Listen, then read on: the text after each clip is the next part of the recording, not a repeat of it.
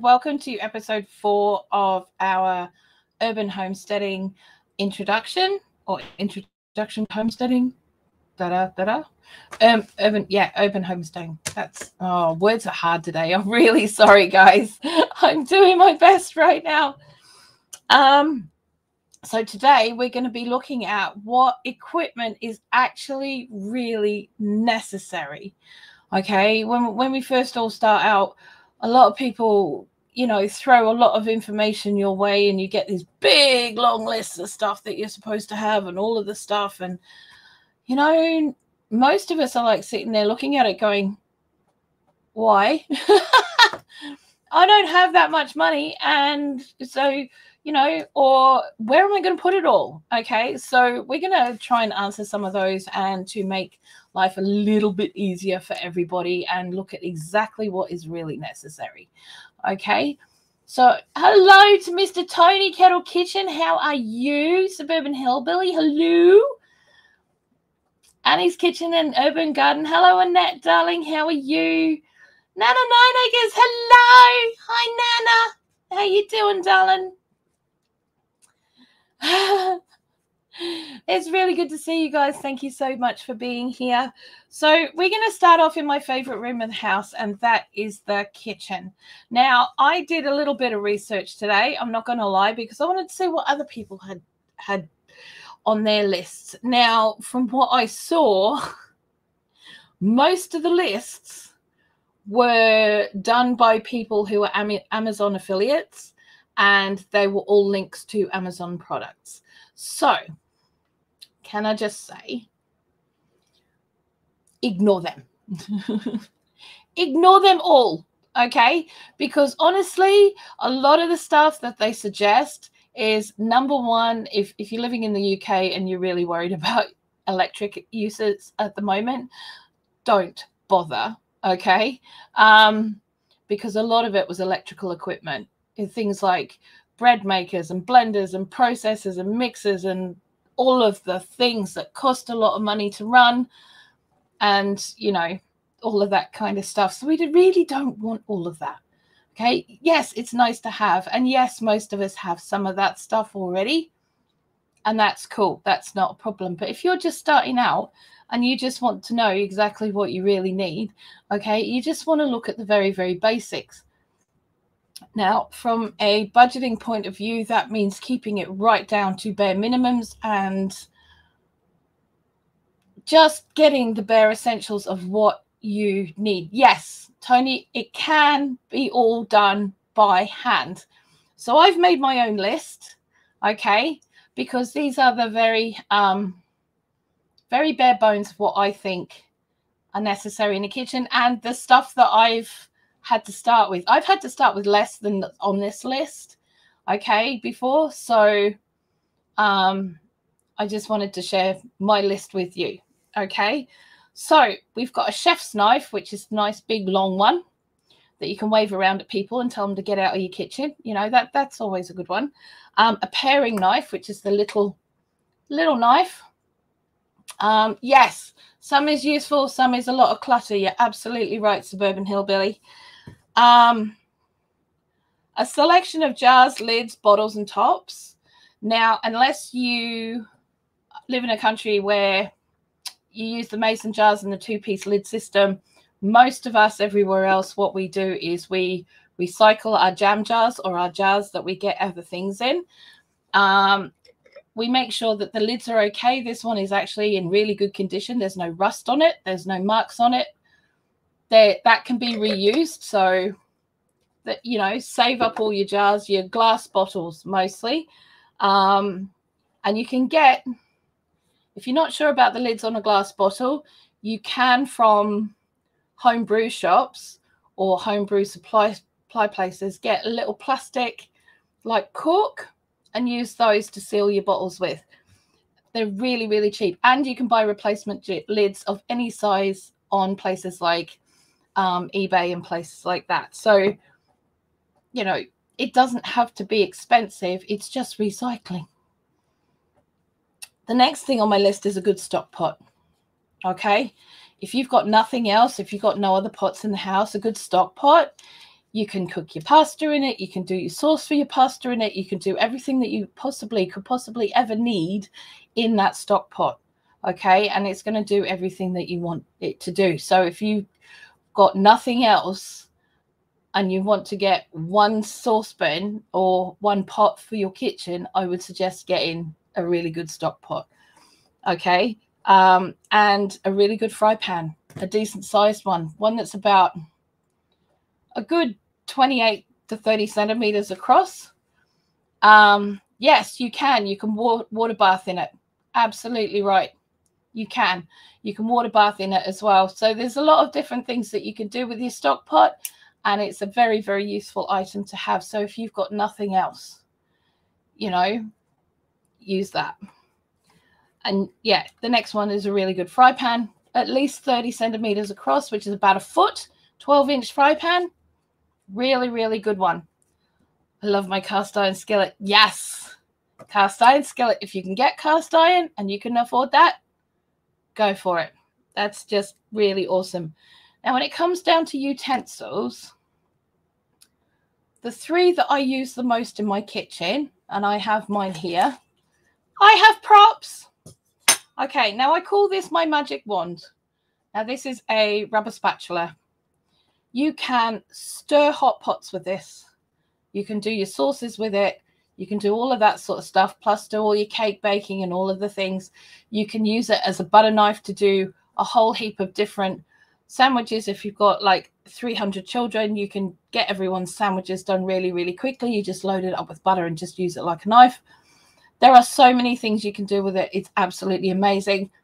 They're pretty cheap to get, but make sure you get a proper rubber one, not the silic well, or silicon rather than rubber. It's not rubber anymore, is it? It's silicon. But the silicon ones you can use in a hot pan to, you know, scrape the sides and stuff like that. So this is my magic wand. It's absolutely my magic wand. You can do everything with it. The next one is a really good whisk. Now, this one is a catering grade whisk. It's a proper chef's whisk. It's a balloon whisk.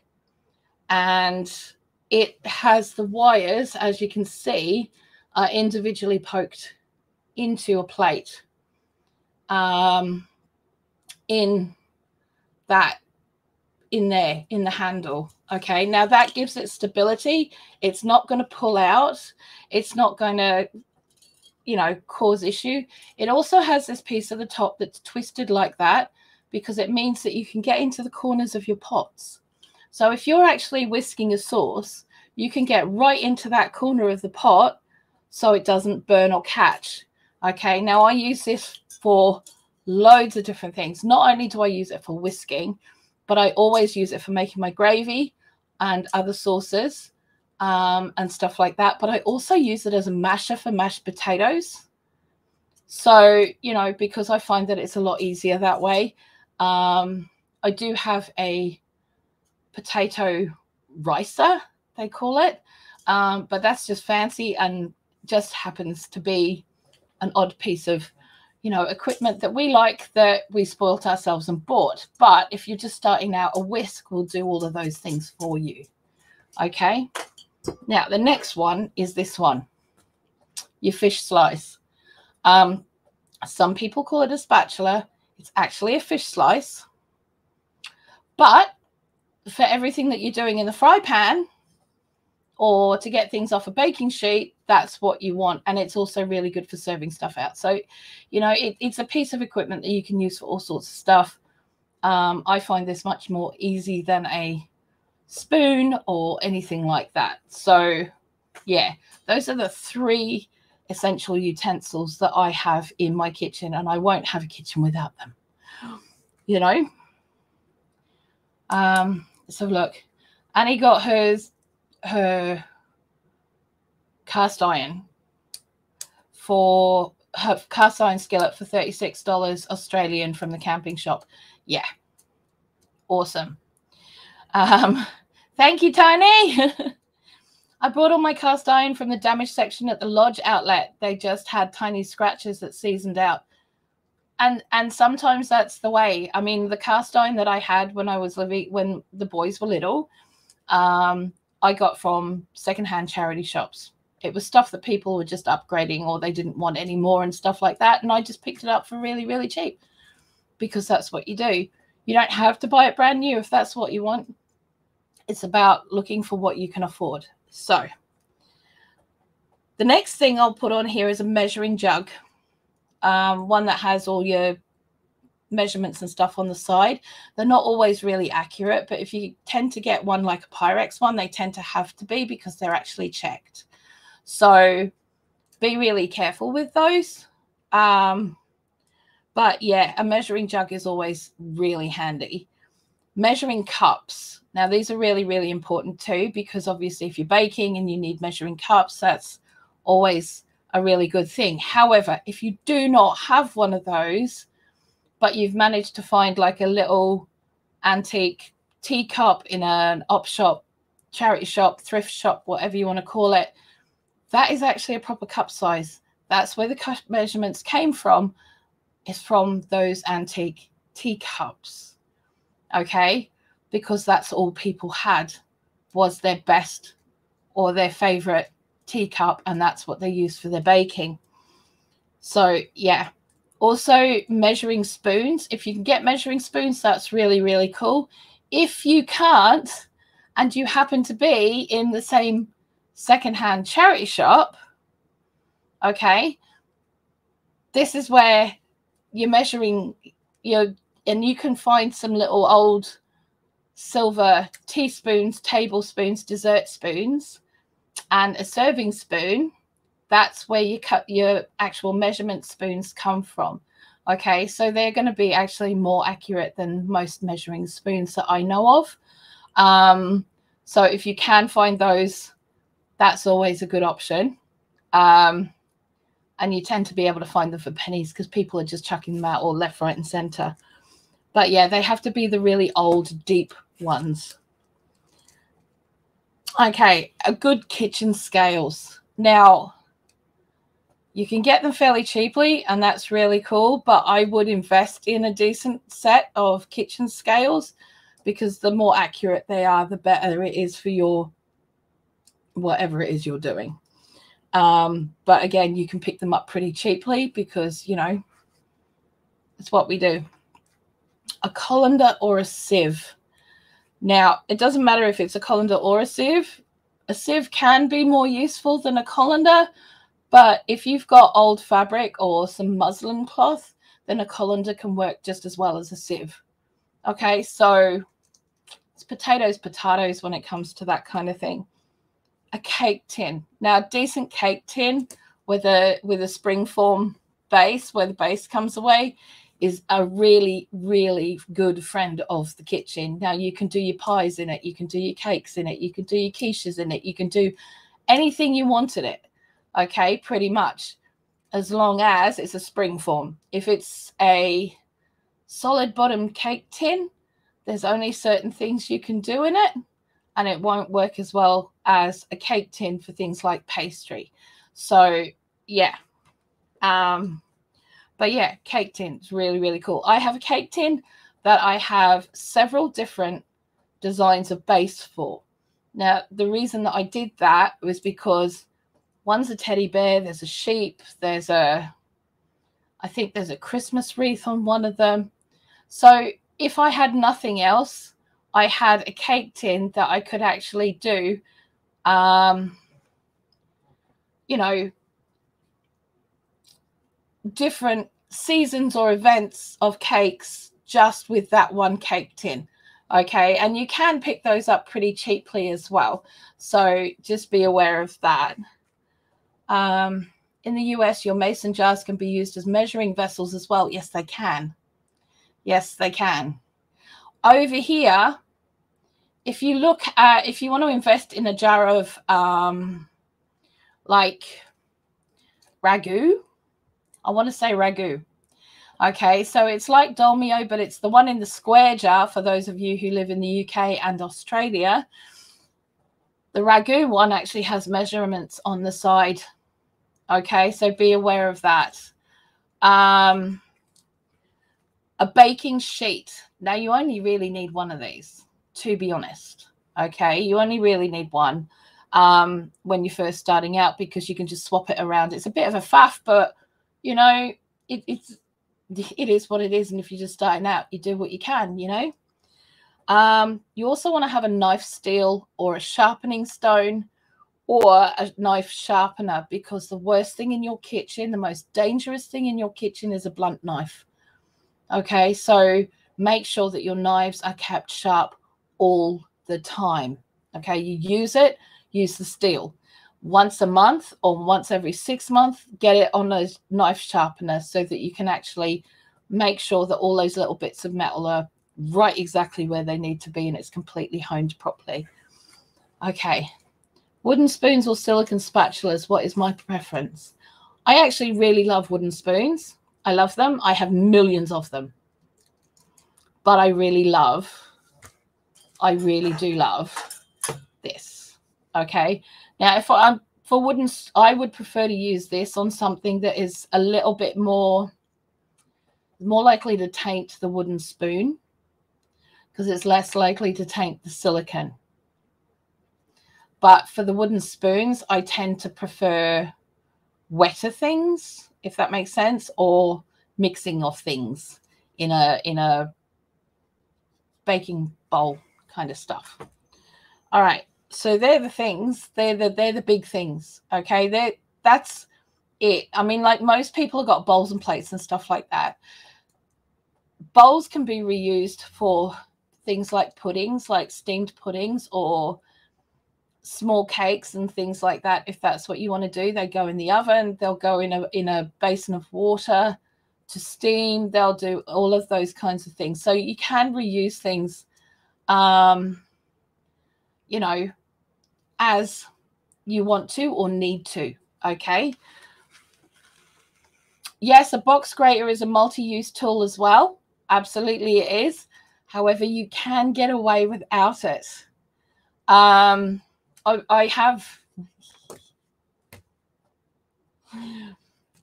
Okay, so a box grater is an awesome tool and it is really, really cool, but it is the kind of thing that you need to spend a little bit of money on if you're going to get a decent one because the really, really cheap ones break down very easily and tend to fall apart within about a year with really good use. Okay. Um, I have one. I love it. I really, really do. I love this one so much because it's not falling apart and the handle's not coming off in my hand anymore. So I really, really do love it. Um, I should have put that on there and I didn't even think of it. Thank you, Tony. Um, yeah, neither scratch cast iron. They're brilliant. Yep. Okay. So that is it for the kitchen. Now I know people will go, but what about this and what about that and what about something else? you know what? It's not a necessity to starting off. Sure, if you're going to make loads of muffins, get a muffin tin. If you're going to be doing a lot of roasting of meats, get a roasting dish.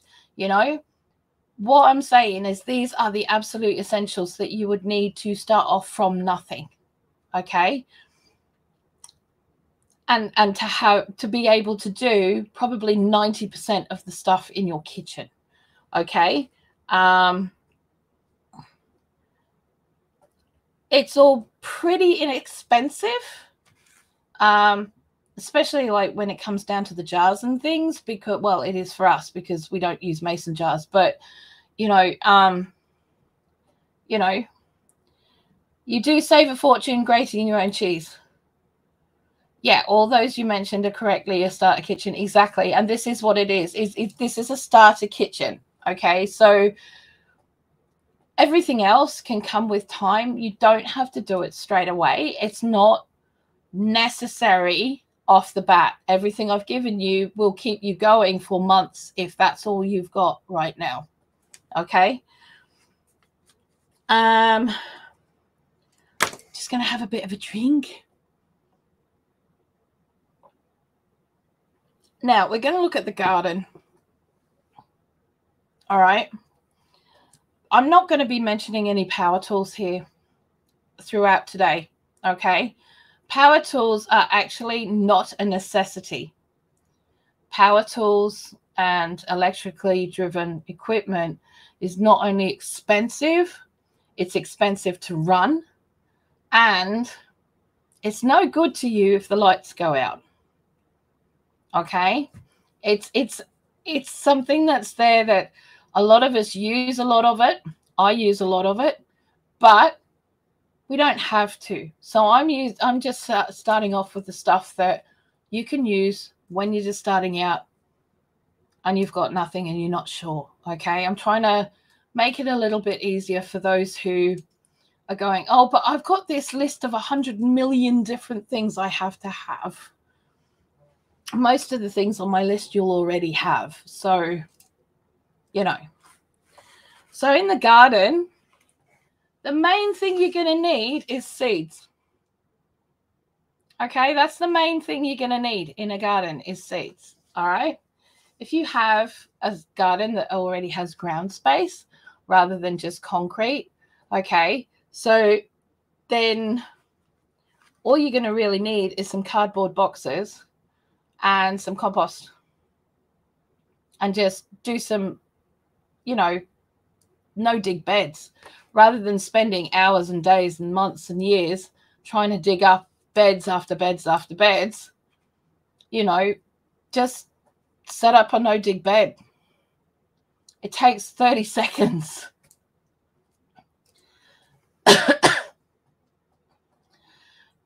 okay, so Suburban Hillbilly says, You're right. And I did things that way for several years. However, I have a back problem and neuropathy, and those tools are a lifesaver. Absolutely, they are and I have a back problem and I can't stand for longer than 10 minutes. So, yes, I completely understand. but I did. I absolutely did with my kids. And when I first brought up my kids and we went moved to the property um, years ago, um, that's all I had. It was basically what I could find in cheap shops.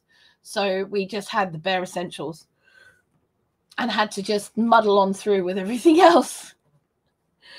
So cardboard boxes and cardboard rolls are going to be a lifesaver for you. Save all your cardboard boxes for making um, no dig beds over lawn areas that you don't want to dig up, but you want to put a bed down.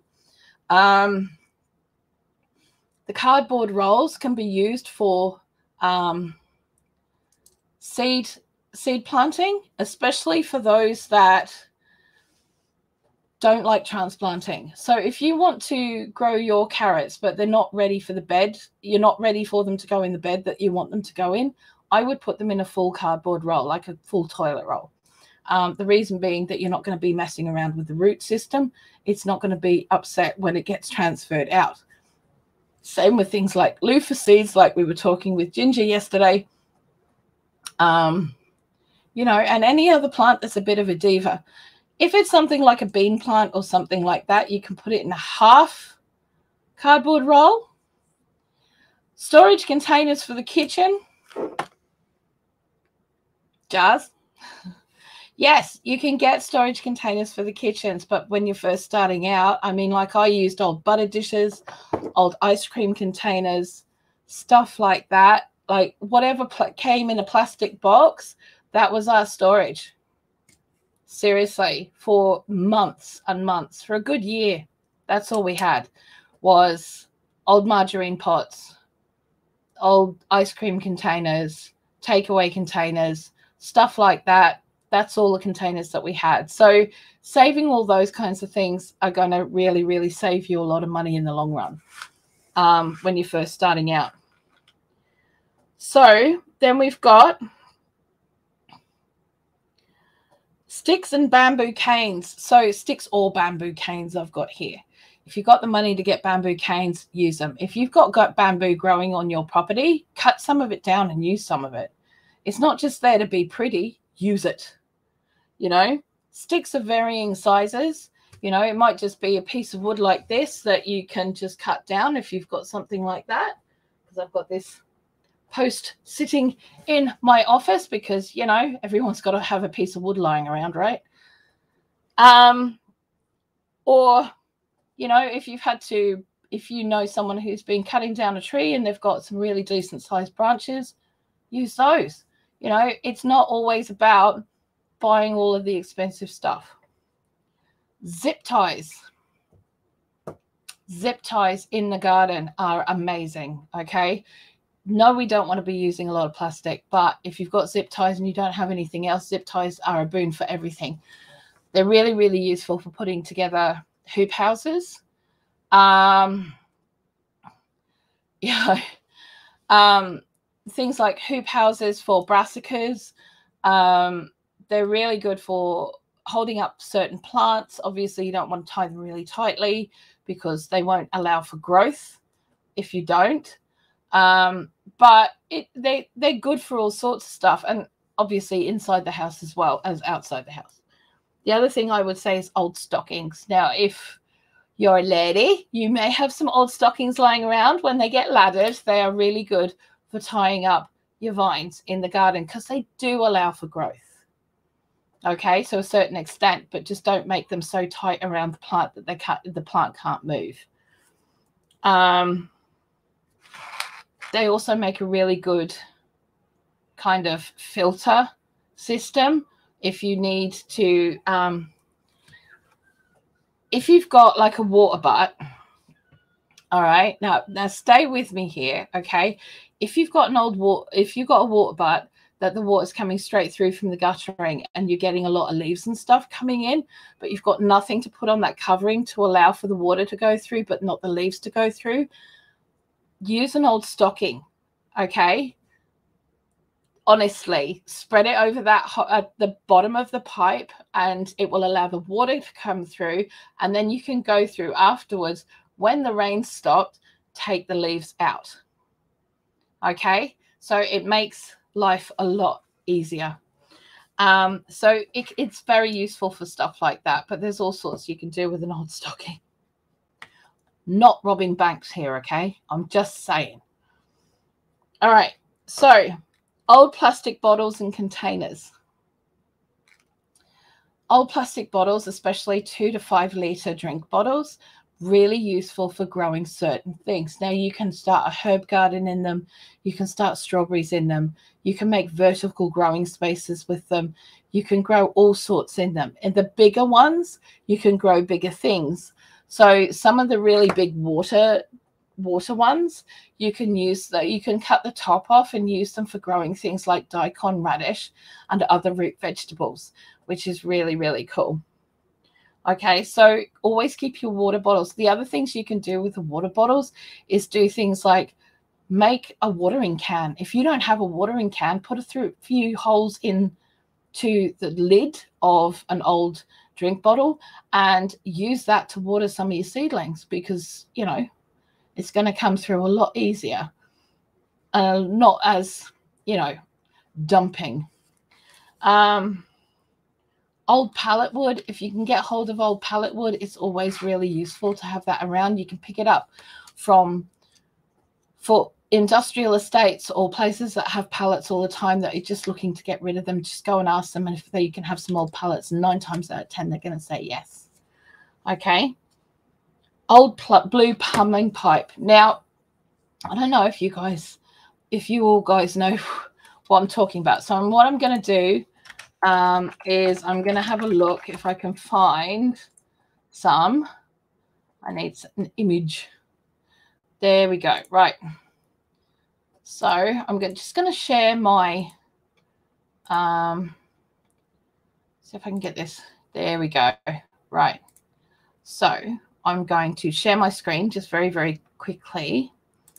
Um, oops, that one. Screen. Okay, it's MDPE pipe.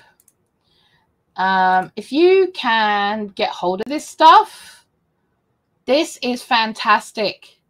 This is what I use to make the hoop part of my hoop houses. Okay. Um, really, really important to have hoop houses, especially around brassicas. This stuff met with some old scaffolding debris netting, which should also be on your list. Um, I didn't put it on mine.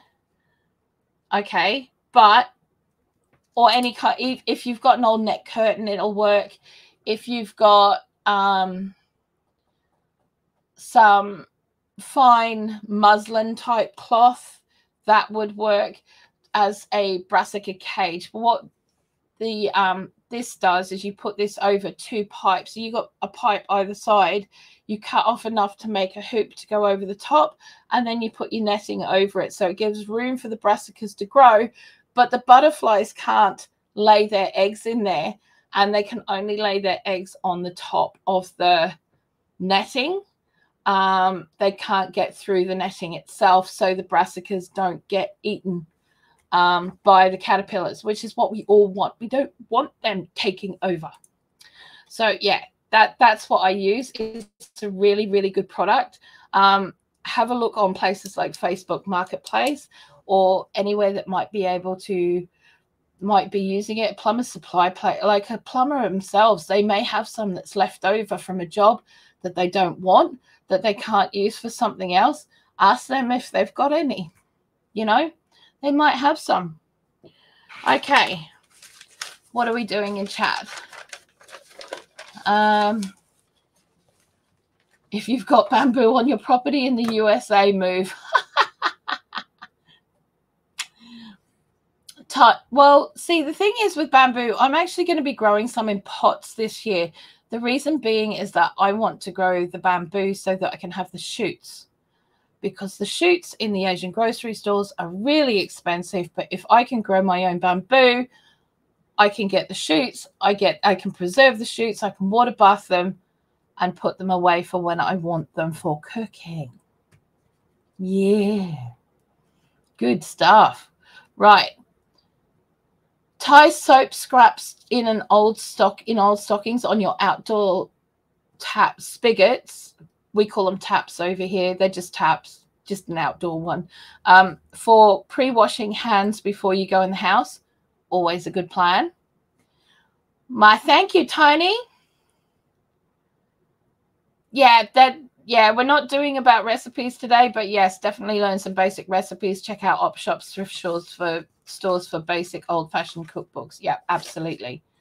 Now, we're going to go to miscellaneous. Now, this is where people go a little bit, you know, you'll notice that in the garden section, I didn't talk anything about spades and shovels and stuff like that because honestly, when you're just starting out setting up your garden, they're actually not necessary. If you do a no dig bed or you're doing containers, what do you need a shovel for? You don't need a shovel. You don't need them. You don't need a hoe. You don't need a rake. You don't need any of that because you can do all of that stuff by hand and it's not a big deal. Obviously, if you've got those things, that's great. If you are looking to get those things for whatever reason, that's great. That's entirely up to you. I'm just talking about just setting up and doing things from scratch as cheaply as you possibly can. Okay. So, the other thing with that is, even if you live in an urban environment, you're not going to be too far away from the local farms. Go and talk to the local farmers and see if you can get some of their manure from their animals.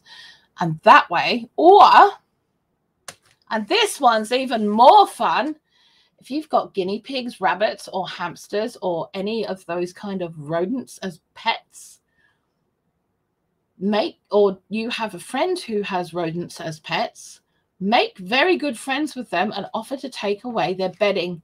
It's going to make amazing mulch for your garden. It is a cold manure, so it can go straight on the beds um, and give them an added boost immediately. Um, it helps your friend or yourself from having to get rid of the stuff to start with. Um, but, and it makes really good use for it, you know? you know it's it's really good and it helps everybody from trying to find a way to get rid of it in the end okay so you know this is all good really good stuff it's so if you can't get out to a local farm or whatever try and find a friend that's got a guinea pig or a rabbit or something like that that they don't mind you collecting their bedding on a weekly basis okay depends on where you live. Our ground was like concrete when we moved in, hard pan clay. You can still do no big dig beds on that.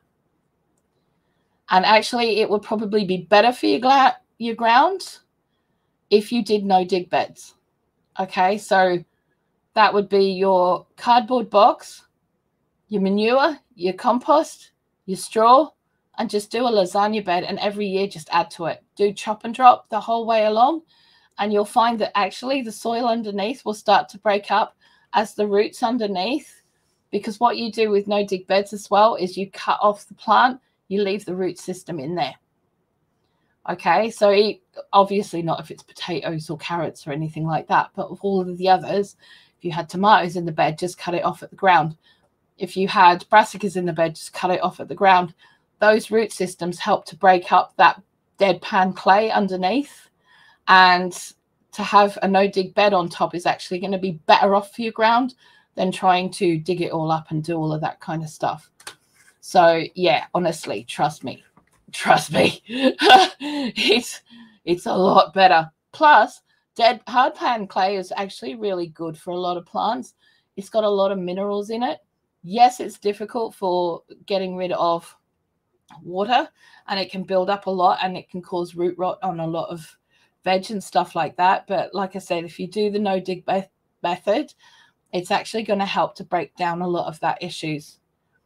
Back to Eden Garden, here is a disaster. It's a buffet for termites and fire ants. Ouch. Um, see, this is why I love these because there's a ton of good information. Oh, thanks, Tony. Okay, so miscellaneous. If you're just starting out and you've just, oh, hi, Rita. We have chickens and their droppings and bedding are put in a separate place for a year to fertilize our garden. Exactly, because it's a hot, it's a hot manure. Whereas rabbits and guinea pigs and hamsters and you know even quail, quail, um, their bedding takes three months rather than a year, which is actually really really cool. So you can actually use it in the same season, which means less storage of the waste, which is awesome. Okay, so miscellaneous. We're going to be looking at things like rope, rope for everything rope is just rope and you can use it for so many things it's ridiculous but rope is always a really good one to have around the place candles an assortment of candles different ones. I would suggest my suggestion is this. Instead of going to places like poundland and um, cheap shops and stuff like that and buying candles go to the catering shops to get the candles. The candles there are generally in general most of the tea light candles they sell at um, catering supply places are eight hour candles and they sell them 500 to a box. Now, that 500 is going to be a lot cheaper than buying them in the bags of 50. Um, yes, it is different for everyone depending on where you live. Absolutely, it is. So, I'm just going by a generalization, okay, of urban living. Okay, so that's that's all I'm doing right now. So yeah, get all sorts of different. Oh, hang on. Hi Renee from Pike Creek Farm. Welcome in, darling. My husband had to get rid of huge burdocks and thistle from our garden area and prep it. He added a fence around it to keep the deer out. We have chickens, so that's great info about the manure. No problem, darling. Yes, absolutely. Absolutely yeah, chicken manure takes a takes a year to break down. Yep. Okay. So, like I said, candles, if you can get them from catering supply places, you're going to get a better deal. It's going to cost you less money. They're going to be a better quality because they have to be. Um, but they're all going to, it's going to be a lot, you know, it's better on the pocket in the long run. Okay, the next one is notebook, pens, and pencils. Now, people forget about this all the time. They forget about having something to write on or having something to write with.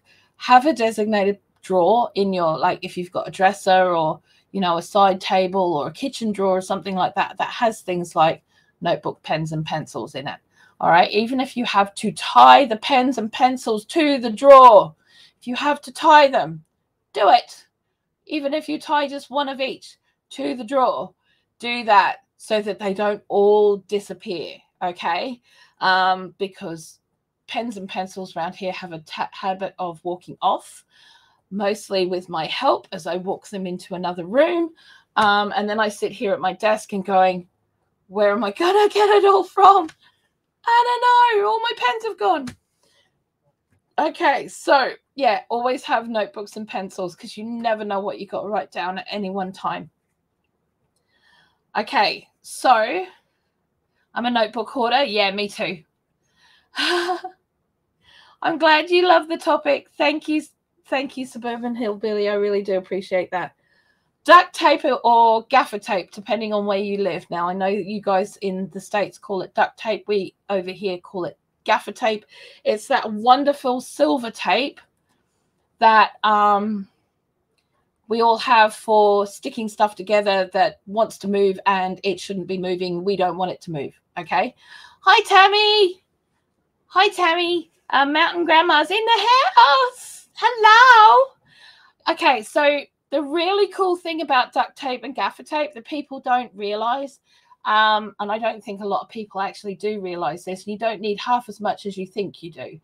Okay, the reason being it is designed to, if the more you move it, the more the thing moves. So if it's something that's flapping, the more it's going to stick to itself, the more it's going to hold it down. Okay.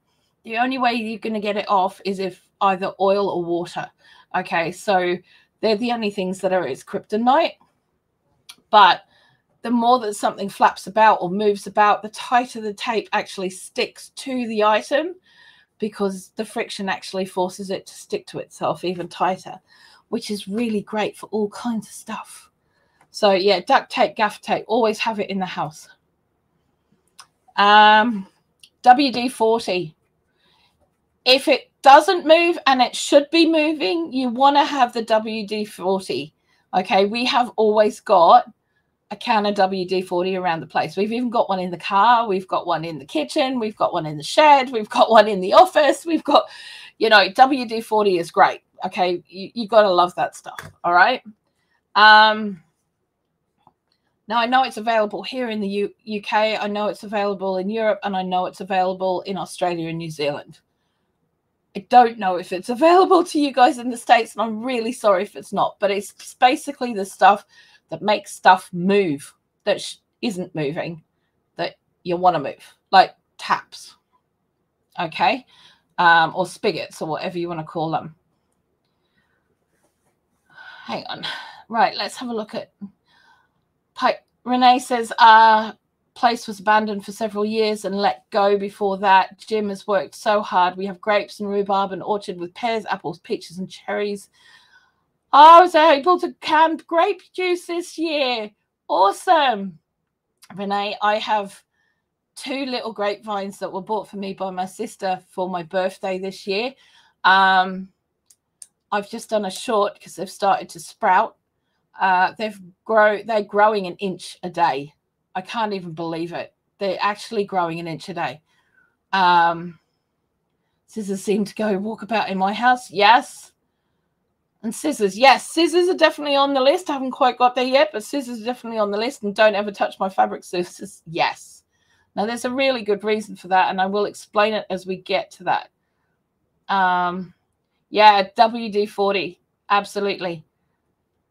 No worries, Ginger. Hello, Miss Not for Nothing Homestead. How you doing? Yeah, scissors seem to be the one thing that disappear in this house as well. I actually have a tin for scissors that is here that is supposed to have all our different scissors in them. But at the moment it's half empty because half the scissors are missing. Now, I've got all sorts of scissors in here because I have all sorts of scissors in here, right? I've slowly been, these are my really good dressmaking scissors. They are only for fabric, okay? The reason they're only for fabric is because they're never supposed to be sharpened, okay? These types of steel dressmaking scissors are not meant to be sharpened. You guys didn't know that, did you? Okay, so if someone comes along and actually blunts them, it's going to cause major issues for your not your scissors and it will literally destroy them. Okay, it would destroy the blade because the blade is actually designed never to be sharpened. Okay, so all that all of my my auntie, my great aunt was a dressmaker back in the day. She used to make clothing for the aristocracy. She was a very high up, high end dressmaker. All she used to do was wipe the blades of her her scissors in her hair to get the oil, natural oil off her hair. So it doesn't work if you use product in your hair, uh, in your hair, but if you've got just natural hair without any product in it, you can just wipe the blades and it actually cleans the blade. I know it's weird, but yeah. Now these ones, I love these. These are wallpaper scissors. I use them for all kinds of paper cutting that I just, you know, because they're big, long ones. Okay. I've also got these ones. Now, these are paper shredding scissors, but they're also useful in the kitchen if you've got things like herbs to chop up. They're usually quite useful for those. And I've got various little cheapy little ones for the kids and stuff. I've also got kitchen shears and just, you know, yeah. So, guys, if you're listening, don't touch your missus's dressmaking scissors, especially if she's got specific dressmaking scissors. You will destroy them. She will come after you with what is left of them, and she will make you buy you a new pair. Okay?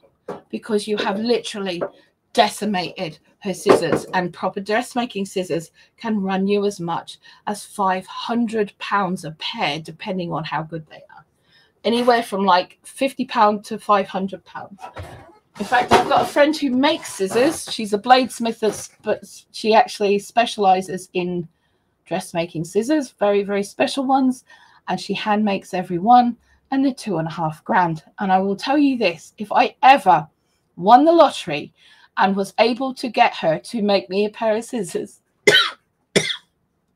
pardon me, and Tanny took them and cut something other than fabric with them I'd have a new veg bed. That's all I'm saying. That's all I'm saying. I'm just saying that.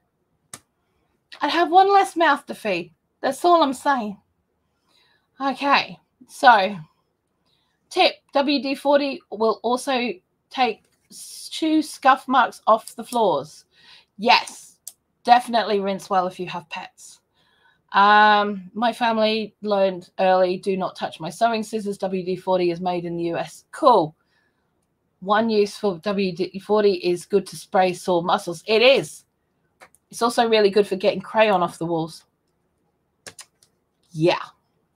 So, okay. Also, you want to have a good sewing kit. Now, if, if you're just starting out, speaking of scissors, Hmm. Pardon me.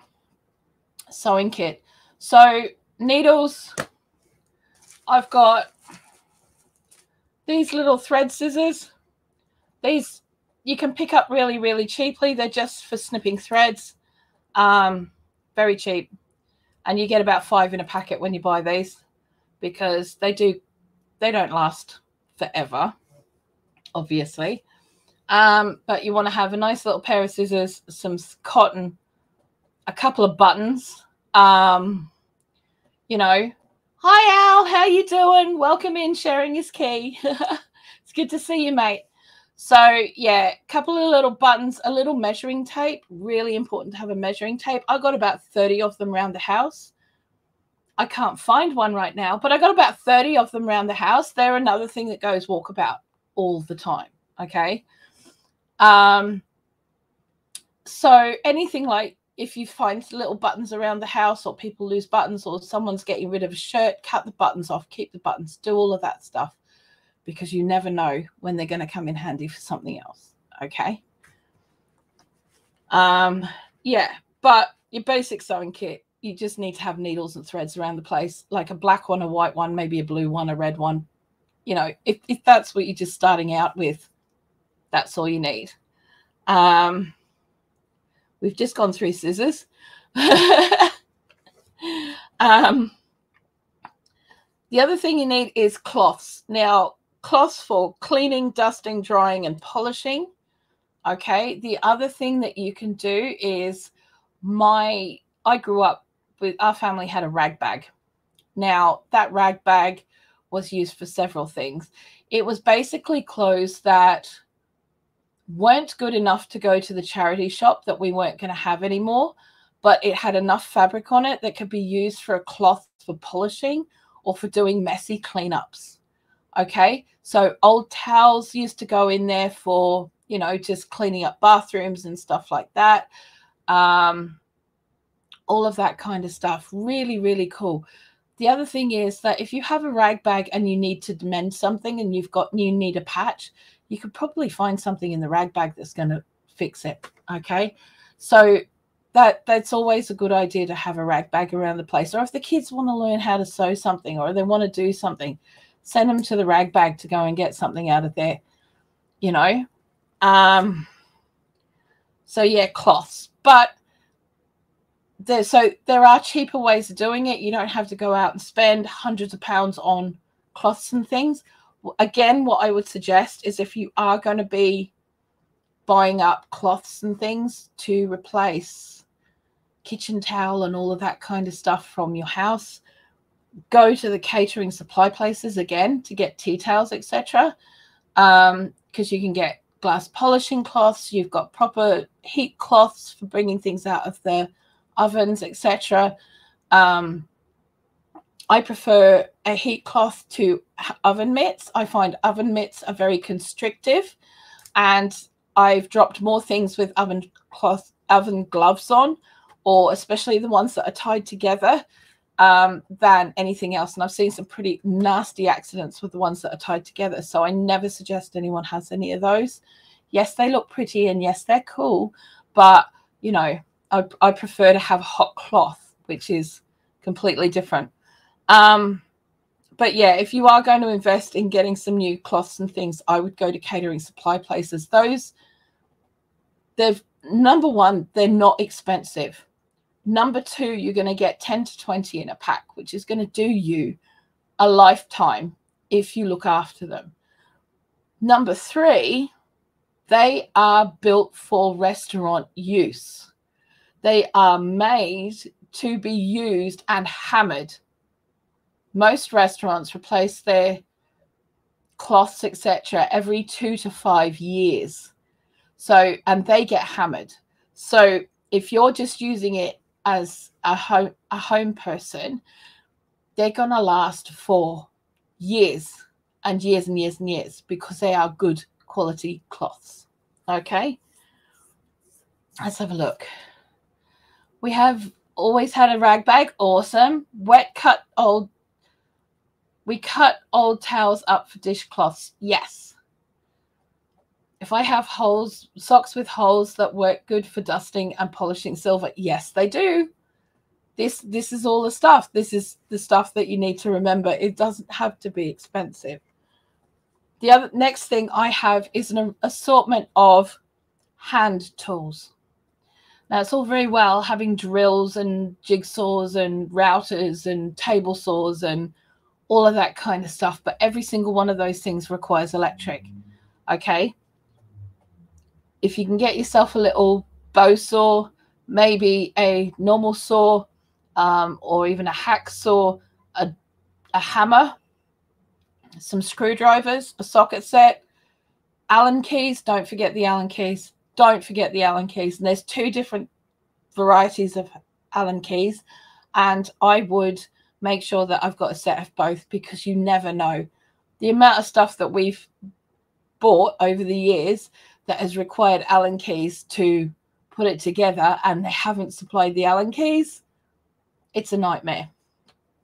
So, on that, I would say a selection of screws, nuts, hooks, bolts, nails, all of that stuff. Now, if you get um, you can recycle screws and hooks and things like that. Not so much nails, you can do it, but I wouldn't do it on a project that needs anything to be really, really stable. Um, because they, where they're bent, if they're bent, I would use them for something like an outdoor raised bed. If I was putting a raised bed together, I would probably use a recycled nail on that. But keep them all. Keep them all. Absolutely keep them all. And all you have to do is leave them in some cola overnight and it takes the rust off. I'm not even kidding. And give them a bit of a buffing with some um with a like a steel wool pad and they come up amazing, like brand new. Okay, so you also want to have a selection of plugs. Now they could be sink plugs for your sink or bath or stuff like that because you never know when they might just conk out and they've had enough. Um, also, electrical plugs, um, just to replace those just in case things go a little bit squirrely or it's not looking quite right, or maybe the dog got to it, or you know, it's just not looking quite how it should do. It's always good to have spare plugs around the place, um, especially if you're buying secondhand stuff it's always good to put a new plug on it because you never know if it hasn't been pat tested um, then there may be something going on with the plug. It's always better to be safe than sorry. Um, fuses and fuse wire always really important to have. Because you never know. Because over here i know you guys in the states don't have it but here in the uk there are fuses in every single plug. Not only in the wall but in the plug. Okay, so if the fuse blows, then you need to replace the plug and the fuse. Okay, because it tends to melt some of the plastic in the plug, and you'd rather have all of it new. So, yeah. Um, light bulbs always have spare light bulbs. If you're moving into a brand new place, you can absolutely guarantee the sink, the bath, and probably the kitchen sink don't have plugs in them and you'll be finding that you may have one light bulb for the whole house so always have a selection of light bulbs um, matches and lighters always have some spare around the place even some waterproof matches if you can get hold of them just in case you know because you never know um yeah so that's our miscellaneous what have we been doing in the chat if you get pink tools, the hubby doesn't take them. Um, yeah, I, I did test that theory. Um, Tony doesn't care. really doesn't care. If I need a screwdriver, I'm going to use it, whether it's pink, purple, or whatever is his answer. Um, go to cart boot sales for which in the States is called a swap meet, by the way. Um, for hand tools, the stuff in home DIY stores are overpriced rubbish. A lot of them are. Uh, car boots, the one pound boxes are treasure chests. Yes, they are. Um, I saw somebody chucking out a floor lamp the other week. I took the plug, flex, and bulb too. Absolutely. Yep. Absolutely. Swap meets are great. Yeah, we have we call them car boot sales over here because it's basically what people are selling out of the, their car boot, right? So that that's what we call them over here, but they are a treasure trove. We haven't had many of them over the last couple of years for obvious reasons, but you know they're coming back. But you got to get there early. You got to get there early. And the other thing I would like to say as well is try not to barter with people that are selling at car boot sales. A lot of them, some of them do it for a living. I get that.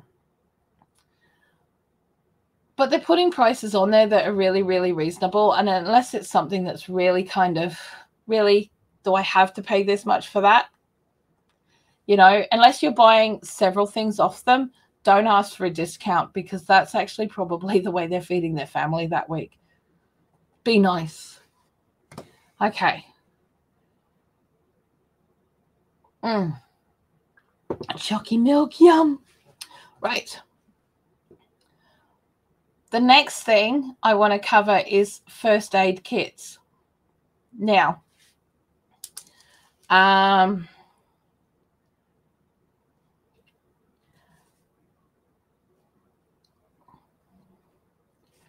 Okay, depending on the needs. Okay, I'm, I'm just writing some notes really quickly because I, I forgot a couple of things and I just had to write those down really quick so I don't forget again. Okay, so the basics that you need in a first aid kit are bandages, like two or three different widths of bandage. Okay. Band aids, all sorts of different varieties of band aids.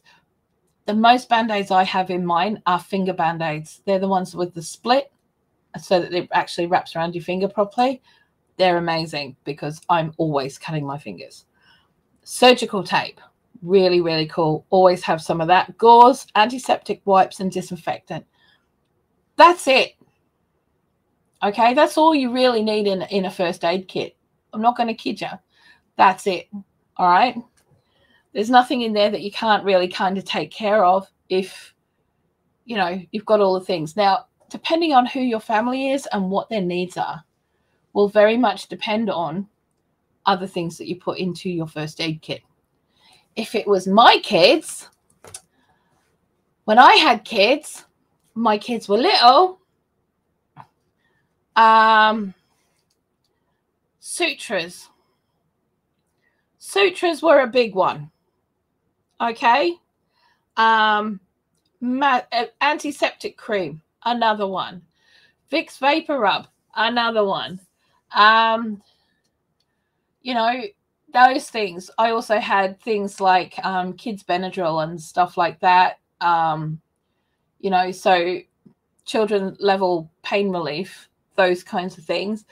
But also, then you've got to look at personal needs like medication. If you use medical equipment, have you got a, per, a portable version of that?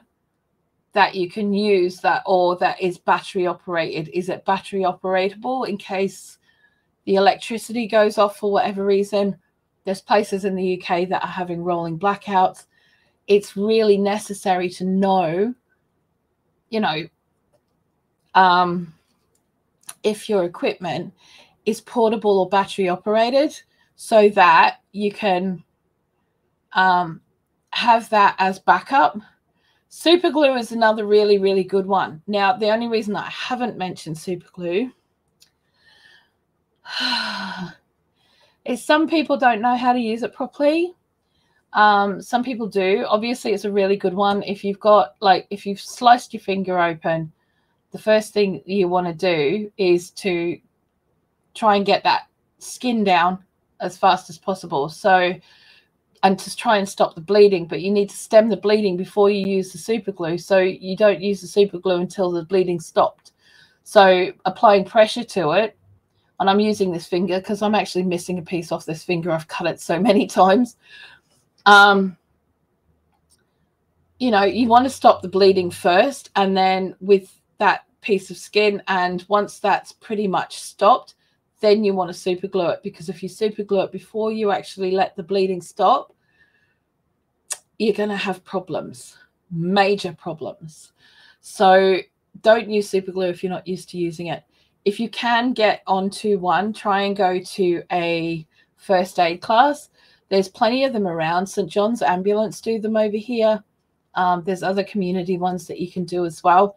They're always really useful to have around the place. But you know it, it really is the first aid box is definitely different in every household you go to. Now if you're in the kitchen a lot you might want to have burn cream in there. Um, i have pawpaw ointment um, in mine um, because that is one of the best things that i have found for burns. Um, i want to see if i can pull it up Um, uh, a specific brand. Cura. Is it Lacura? Um, no. No, no, that's not it. There we go. Okay. Lucas. Okay, Lucas Pawpaw Ointment. All right, now this stuff, can I just say, saved my son um, some very serious scarring when he was a baby. It didn't matter what we used. We used everything that we were told to use. We tried everything. Okay. And that little boy had a bleeding, uh, a proper bleeding nappy rash that was so awful. He was hospitalized and we tried everything. Okay. And it wasn't until we tried the pawpaw ointment that it literally dried up that nappy rash in less, it stopped it bleeding within an hour. Within six hours of it used, it started drying up. Overnight, you wouldn't have believed it was as bad as it was the day before. That stuff was amazing. And I've used it for burns ever since. And I was put onto it because a friend of mine that I was working with, she did a dumb thing and she opened up an overheated radiator cap. It blew up in her face. And the only thing that saved her face was the pawpaw ointment. Now they have had issues with contamination in it in recent times in that particular brand, but it was all recalled. Um, I'm not sponsored by them. I'm not affiliated. I just think it's a wonder product, honestly, and it's the only one that I found that is um, pure enough that you know doesn't have so many additives in it that it makes it ineffective. Okay.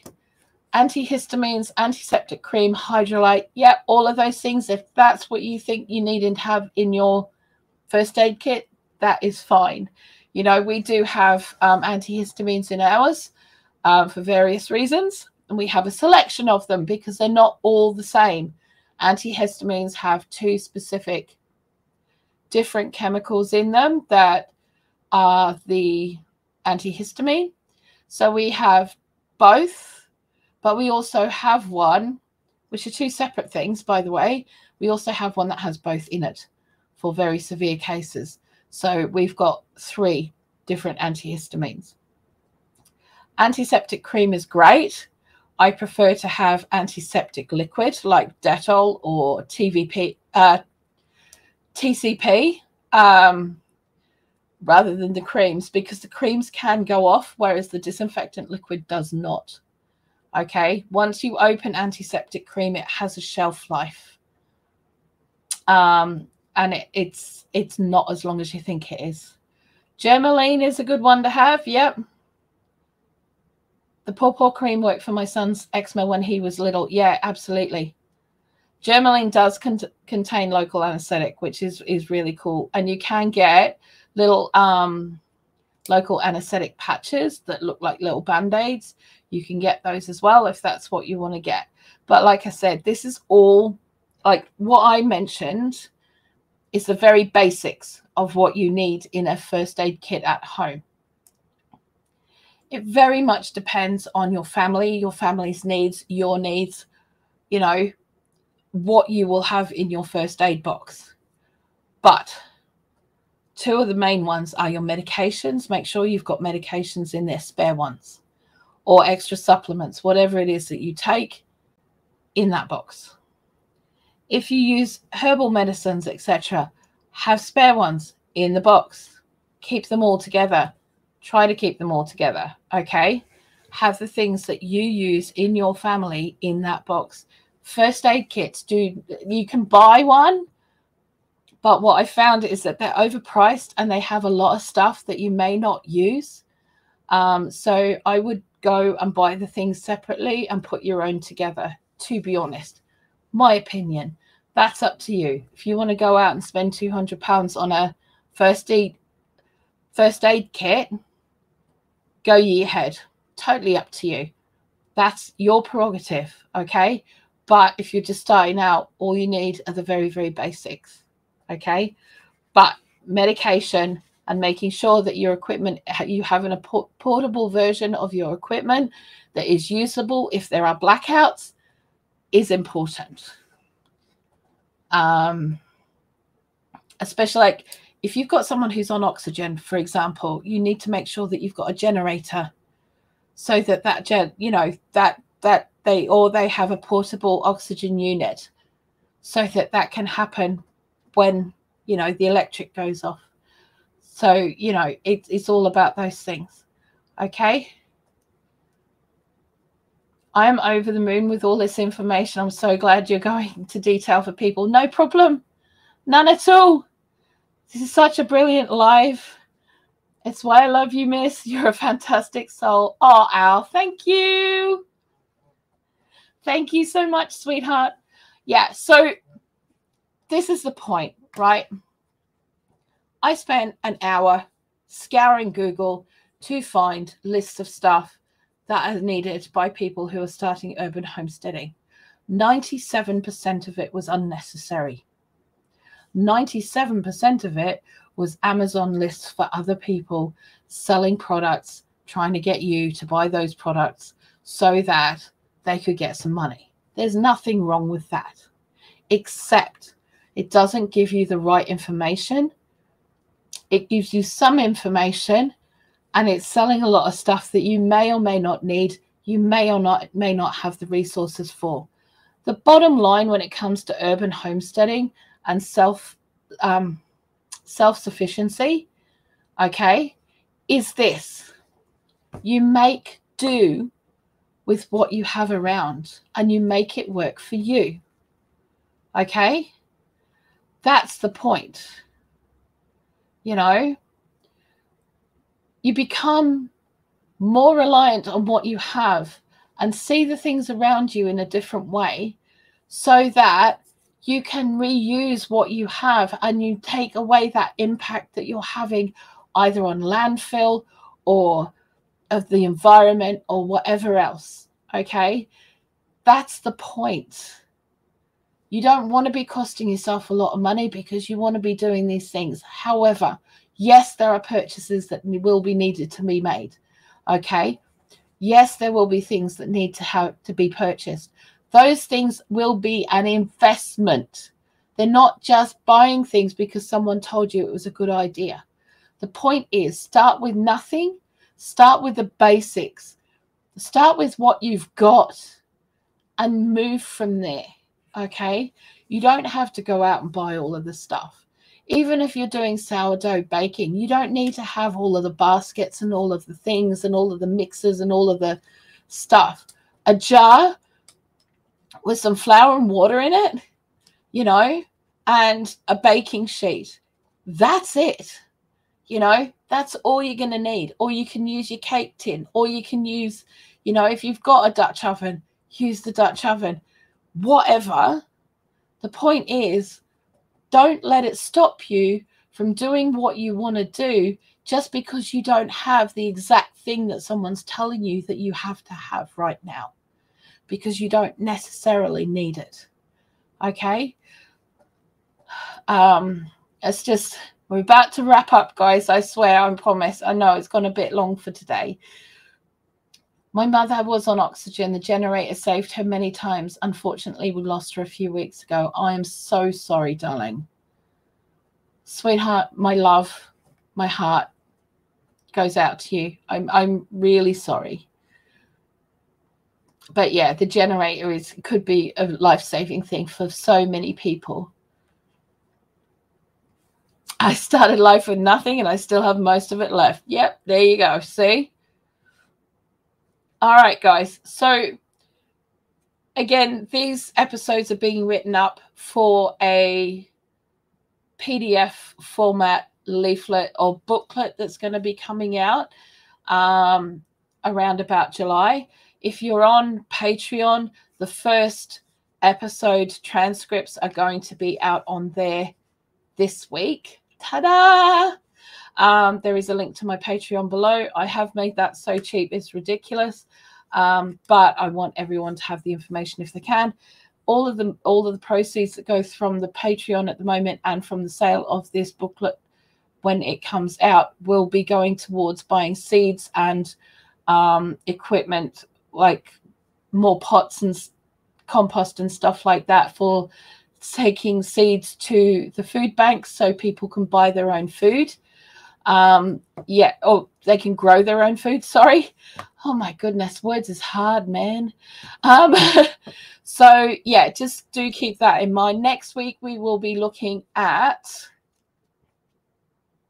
i'm not sure yet you'll have to come back and find out. Ha!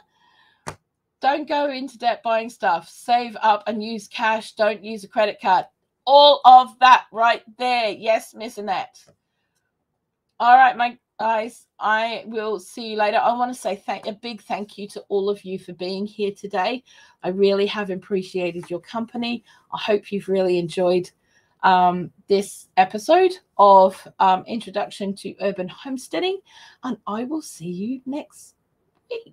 Except if you go over to Mr. Kettle Kitchen's channel tomorrow at 5 a.m. GMT, which is, I think it's, is it 9 p.m. your time, Mr. Tony? He does a late night Friday live, and you will find me there.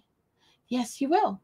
So it's 5 5 a.m. GMT, so UK time, it's 5 a.m. tomorrow morning, or it's tonight for you guys in the US. Um, I will be on that live, and I will see you then, or I will see you next week. I love you guys heaps. Mwah. Bye.